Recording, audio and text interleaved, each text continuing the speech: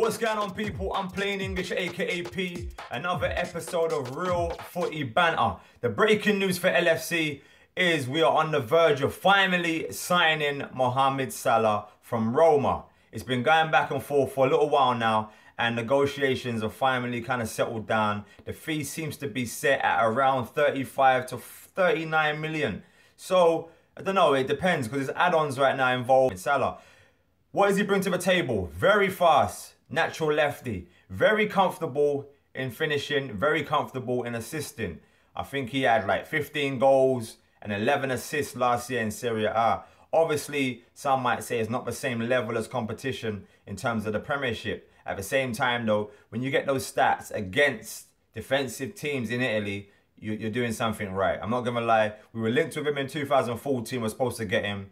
Uh, last minute, Jose Mourinho came in and done his work, whatever, on the phone and convinced Mo to go to Chelsea. So I was happy back then, hoping we would get him from Basel. Didn't go through. He went Chelsea, obviously. Opportunities were limited as well. You know what I mean?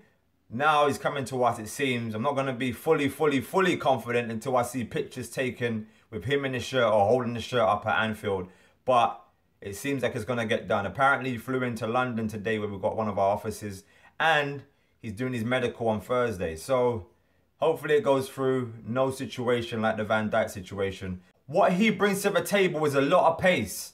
So between him and Mane on either side, that is arguably, I would say, the, the quickest win combination in the Prem, if not the world. And we know Klopp likes the high press. So he will bring that. Like I said before, he's done it in Italy. He's got to see if he can do it in the Prem now.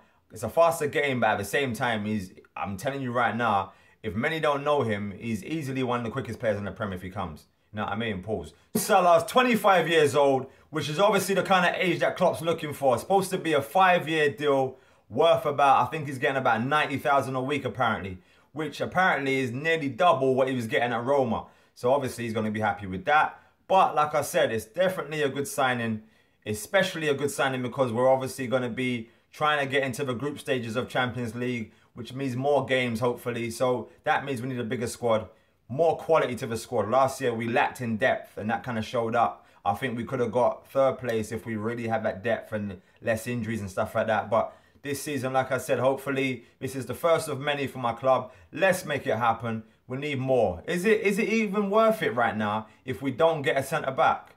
That's a question because going forward, it weren't too bad last year, but at the back, it's still a bit nervy, you know what I mean? But what Mo Salah does add he does add that that ability to break down more defenses because I think we got found out a little bit like with teams that weren't weren't maybe as gifted as us going forward they sat back. You know what I mean? Your West Broms and maybe your Stokes and stuff they kind of sat back and we had to kind of break them down you know what I mean? So I think that is one of them ones where now with people like Mo Salah it kind of gives you more opportunity to break defenses down you know what I mean? So hopefully that that adds to the equation in terms of that. But we need to still sign a centre back for me. I still want Van Dijk to. Hopefully, it's not dead, but we need Van Dijk or someone like that who can who can team up with Matip and have flipping Lovren on the bench for me. You know what I mean? Play here and there with certain games. You know what I mean? And go from there. But yeah, like I said, Mo Salah for me, very good signing. I'm happy with it. We still need more. It should be the first of many. Um, not many, but I mean,